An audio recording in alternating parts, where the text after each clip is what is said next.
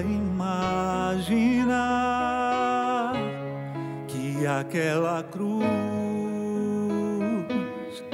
era só o começo de uma história de amor.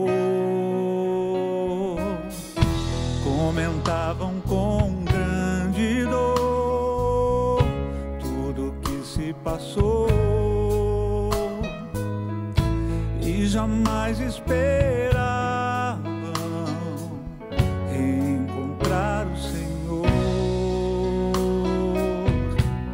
Aconteceu sem mesmo esperar, ele apareceu em meio aos discípulos a caminhar, falava de amor e o som de sua voz abrasava os seus corações e diziam: Senhor, fica conosco. É tarde, o dia declina, quase sem esperança,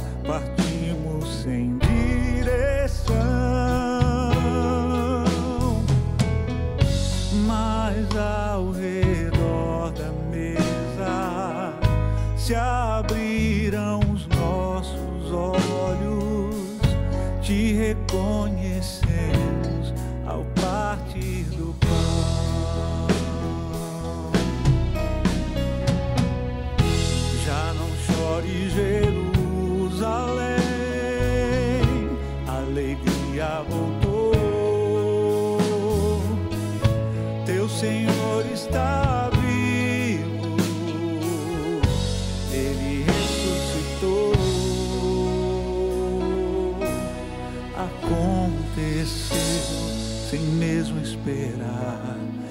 Ele apareceu em meio aos discípulos a caminhar. Falava de amor e o som de sua voz abrasava os seus corações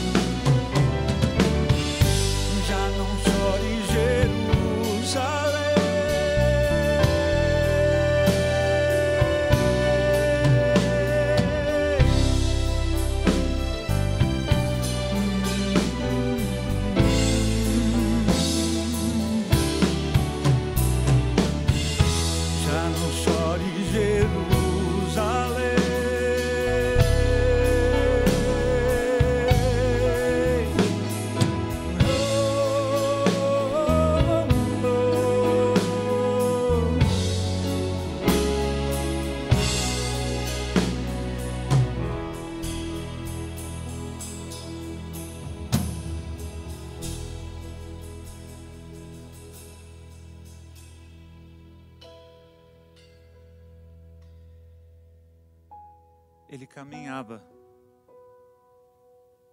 entre seus discípulos. Deixa eu ler um trechinho aqui para a gente meditar e orar sobre esta palavra ou esta canção. Em Lucas 24, versículos 28 a 32. Aproximaram-se da aldeia para onde iam e ele fez como se quisesse passar adiante. Mas eles forçaram-no a parar. Fica conosco, já é tarde e já declina o dia.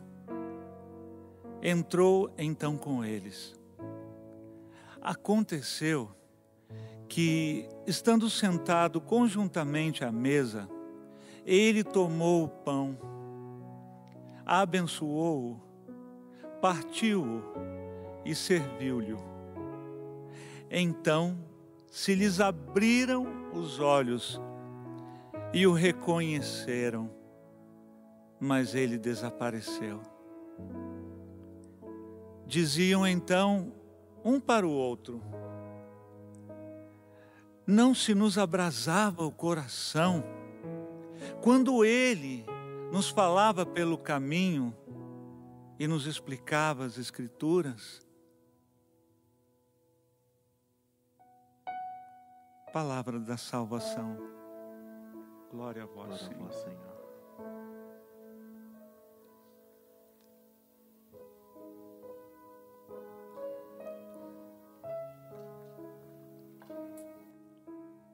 Sabe, abrir o coração, vamos dizer assim, a coisa mais importante das nossas vidas. Porque quando nós estamos abertos para as coisas, principalmente de Deus, né, as coisas boas, claro, as coisas boas também da vida, a gente é melhor. Imagina só, Jesus havia morrido numa cruz. E os discípulos, isso em Jerusalém, e os discípulos de Jesus, alguns, né, alguns seguidores, outros que queriam seguir Jesus, tinham ido embora de Jerusalém. O que a gente vai fazer lá? Acabou tudo. Não tem mais o Senhor. O principal que era a fonte de tudo de alegria para eles, a esperança deles havia acabado. Isso segundo o coração deles, porque eles ainda não tinham entendido as Escrituras. Então, tinha dois discípulos que estavam voltando para Emaús. E no meio deles o Senhor ressuscitado. O Senhor já havia ressuscitado, estava no meio deles caminhando com eles. E é tão bonito a gente pensar assim. Foi na hora lá da mesa, quando eles insistiram que o Senhor ficasse com eles. Senhor, fica conosco, porque já está tão tarde, né? Fica com a gente. É, porque ele falava coisas lindas, mas eles ainda não sabiam que era Jesus. Só sabiam que era alguém que alegrou o caminho deles, o sofrimento deles. Amenizou o sofrimento.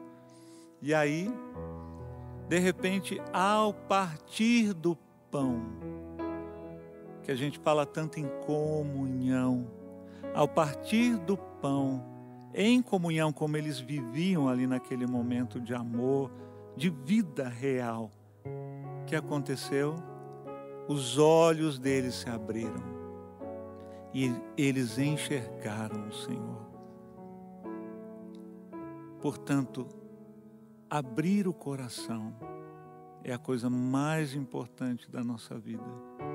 Abrir o coração para Deus, ser sensível de coração, sabe, perceber as coisas boas, se alegrar com essas coisas, ouvir uma boa palavra de Deus e pronto, a gente já se alegrar e não ser indiferente ou. Entendem? É lindo quando a gente abre o coração. Deixa então, nesse momento agora, entra em oração com a gente, deixa esse coração amolecer. Vai deixando o coração ser mais sensível. E por que não, deixa o coração se abrasar com a graça de Deus. Deus caminha contigo.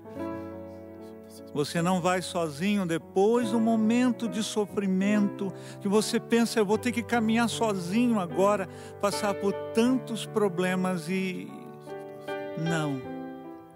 Deus está contigo. Ele caminha entre nós. Mas ele fala: muda a direção. Volta para o lugar da dor. Porque é lá que você vai ter a vitória. Muito obrigado, Jesus. Muito obrigado, Senhor, por andar conosco. Muito obrigado. Te amamos, Jesus.